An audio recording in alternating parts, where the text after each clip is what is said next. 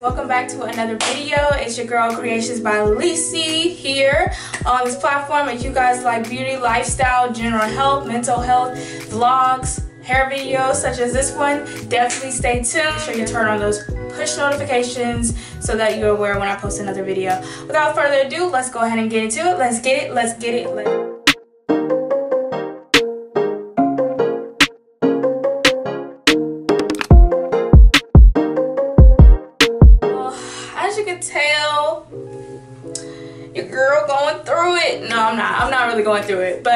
Um, here is a before shot. Okay, edges are not done. Freshly washed cornrows. I really just went in the sh uh, shower and I just used my uh, ginger rinse. Love this because it is a deep cleanser. Um, so right now the ends are a little bit still wet. It's actually easier than individual braids because individual braids it's like a lot harder to like really dry the ends unless you use a blow dryer but as you can tell there's not much water coming out so it's a little bit still damp which is to be expected since I just got out the shower. But we're gonna go ahead and start revamping this hair back to basically when I got it done. Going in with my leave-in conditioner. I'm essentially just gonna put this on my hair and on my scalp since my scalp is exposed. So yeah, I'm putting it on my braids and then I'm also putting it on my scalp because I need my scalp to be moisturized as well since it is exposed. And in general, this is kind of what I do anyways because my hair needs my leave-in conditioner. Like, I love leave-in conditioner. It makes my hair stronger, my strands stronger. And I'm really going all the way down too, so I'm not just focusing on the top, I'm going all the way down and smoothing and massaging that in. Even when you have these protective hairstyles, you definitely still want to take care of your hair underneath.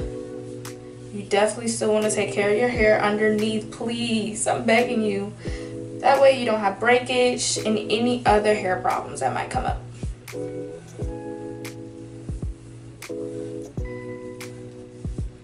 So I'm putting that on my edges as well. Now we're gonna go and focus the um, leave-in conditioning on the hair, basically where my hair is in the braids because now you can start to see where it is since I have colored hair at the ends of my braids. But of course we're gonna kind of cover that up too because I don't like to see that, especially in colored braids, as much as possible anyways.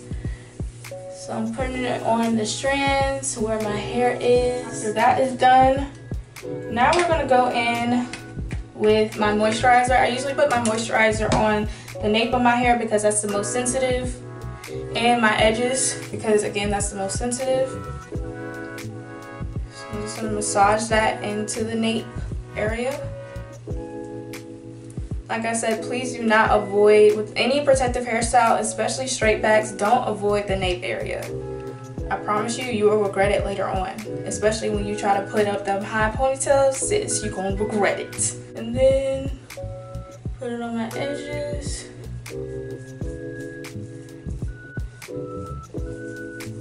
Massaging that in until you can't see the white anymore. Alright, so once that is complete, then you're gonna go in and put oil on. I honestly don't like to put too much product on my straight backs because it can easily get dirty again because I do like to work out and I am like doing a lot of outdoor activities. So I don't like to put too much product on my hair and it just makes it so much easier just to maintain. So the last step I go in, well the second to last step, I go in and just put some oil. I have my favorite oil that definitely helps with breakage. So if you want a general health oil for like nine, ten dollars, definitely invest in that one. It's the best to me. Um, it really helps with just breakage in general and just moisturizing your hair and making your hair grow all at the same time. I like to use my Mielle Growth Oil. Love this because it is not as expensive, um, but it's a growth oil that helps my hair grow. So, I mean, sometimes you gotta pay a little bit more for your hair to really succeed and see results. So I'm just putting this on my scalp. I like that it has a little droplet so you could just put it on easily and not have to worry about missing a section.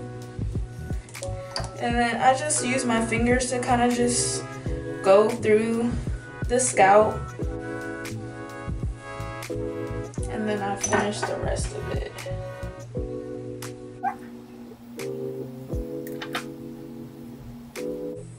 And then I just rub my fingers through the grooves of my braids. Now we're gonna get into the styling portion, which is the best part to me, in my opinion.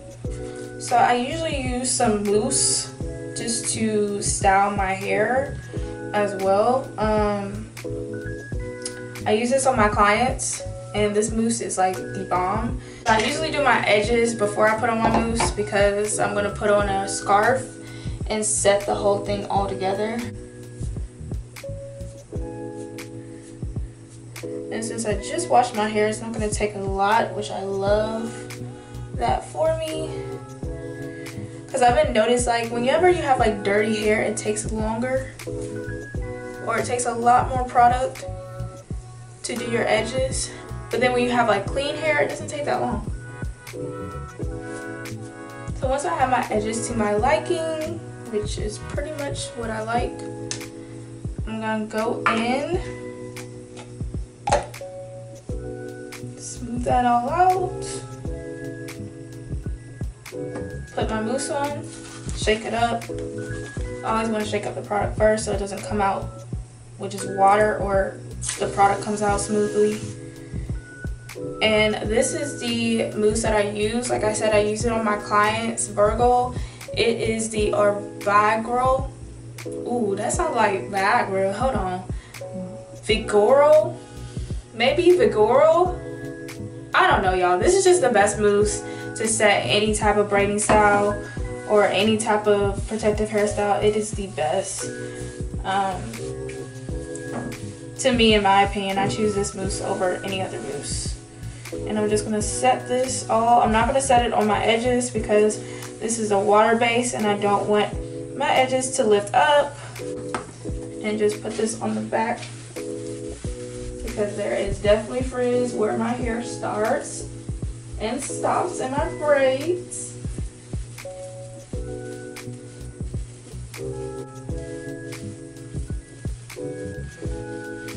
And I'm just putting it where my hair is because it's pretty easy to feel. I'm going to put on my scarf.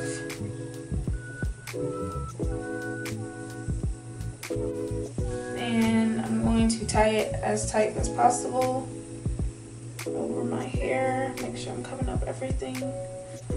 Boom, cool. And now I'm going to use my blow dryer. Medium heat and medium medium heat medium speed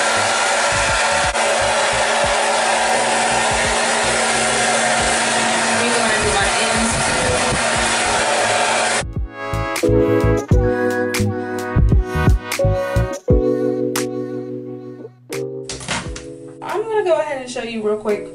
what it's going to be looking like. It's going to finish setting overnight, but this is just like, I guess, a preview of what to see.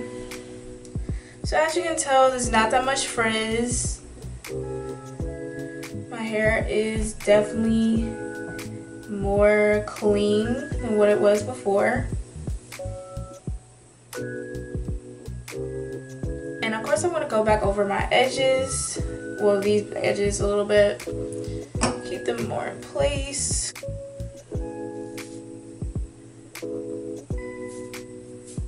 But so far so good. And yeah guys this is the end of my video. Um, like I said, I'm just gonna let it set overnight with this scarf on so it can finish, um, you know, doing what it needs to do, working its magic. I will see you guys in my next video. Like this video, give me comments down below of what you think about this video. And yeah, this should be an easy way to um, do your hair or maintain protective hairstyles if you don't feel like taking it out yet or it's not ready to be taken out yet. And just do your regular routine and then you're good to go. And boom, voila, it's back to normal.